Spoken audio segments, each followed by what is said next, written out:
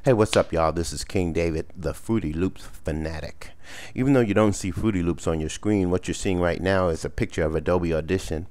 Uh, Adobe Audition is how we, uh, one of the programs that we use to manipulate the sound. Anyhow, what we're going to do is show you how to make this beat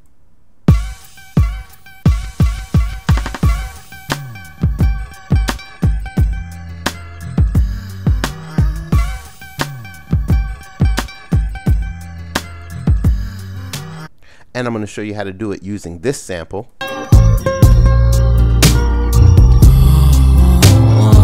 all in a couple minutes okay? First thing I'm gonna do is I'm gonna take the CD that I wanted to sample from. This happens to be India.Arie brown skin. Go buy it. India.Arie is the most phenomenal artist on the planet right now. That's just my opinion of course but I, I like India.Arie she's very good.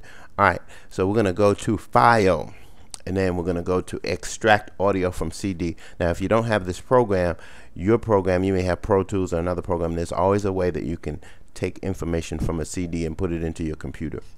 Okay, so I'm going to extract my audio. Right now, you don't see any track information because I don't have the CD in there, but I know that it's track 4, so I'm going to go ahead and hit track 4 and hit OK. Down here, and OK, we'll go ahead and bring that song into uh, into the mixing environment. Okay, so what I did is I chopped up the section that I wanted to hear, which was this section. Okay, and I went up to effects and I slid down to time and pitch. And I went to stretch. And I believe I went to helium and I hit preview. And then I found the right pitch. Once I found the right pitch, I changed it and saved that pitch, and it sounded like this.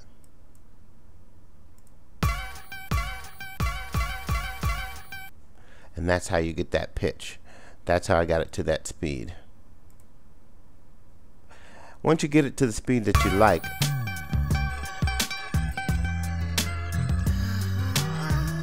go up to file and then you save it as and I saved it as brown skin. Once I saved it as brown skin my work was done. I could now go over to my Fruity Loops. And now I can start working on my Fruity Loops. Okay? Once I'm in my Fruity Loops environment what I need to do now is pull in my sample. So how do I do that? I go to my open sound files button. Again, what I did was hit my brown skin button and then I pulled up the load sample button and I go and I look for the word brown skin in my files. When I find it, I hit open and that sound comes into Fruity Loops. Another way to do that is to go to my browser and look under tracks and I should be able to find brown skin. Look, there it is, brown skin. All right, cool.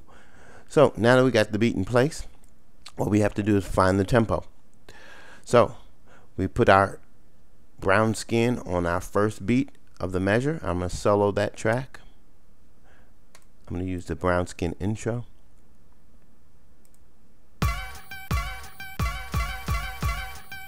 Now, what we can do is right click on the tempo, go to tempo, right click, and then we can go to tap, and then play our track. So play our track, right click, tap,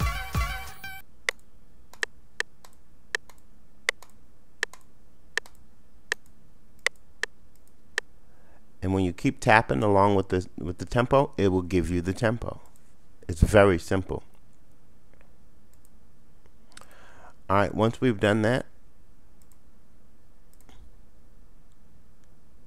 we can start placing our sounds wherever we want it to go. So what I'll do is I'll take out all the brown skin samples and just leave the instruments that I added in there.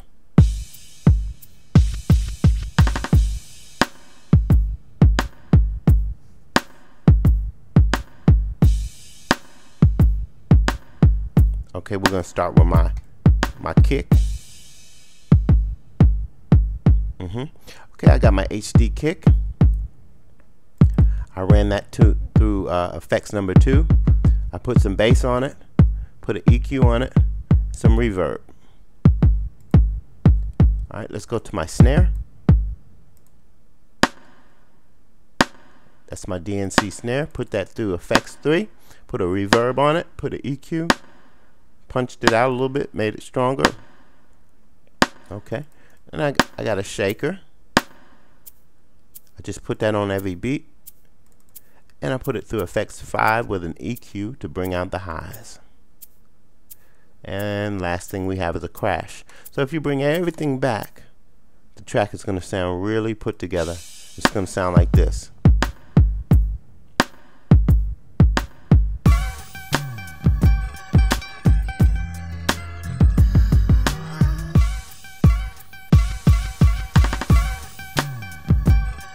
Okay, I'm King David for David and Goliath look on your screen, you will see the web address. We have some very, very interesting and hot tutorials for Fruity Loops. It's going to go on for weeks, months, days, years, millenniums. Come check us out at www.davidandgoliath.com or www.beatclass, beatclass, B-E-A-T-C-L-A-S-S.com. It's King David and I am out.